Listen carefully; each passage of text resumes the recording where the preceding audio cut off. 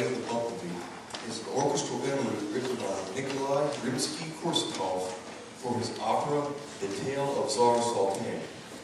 The piece closes Act Three during the magic swanbird's changing of Prince Saltanovich, the Tsar's son, into an insect so that he can fly away to visit his father, who does not know that he's alive.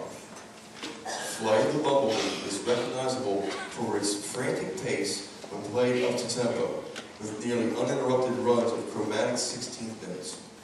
It is not so much the pitch or range of the notes that are played that challenges the musician, but rather the technical difficulty involved in the relentless, fast chromatic passages.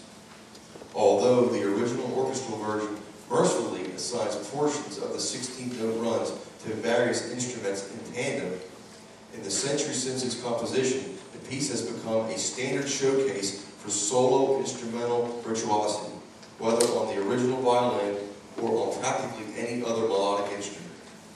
Tonight, you will hear it performed on the flute. Our soloist is a music education major at the Baptist College of Florida. She enjoys mission work in teaching private flute lessons. After graduation, her plans are to incorporate her music education in the mission field. Welcome to our stage, our flute soloist, Sadie Wynn.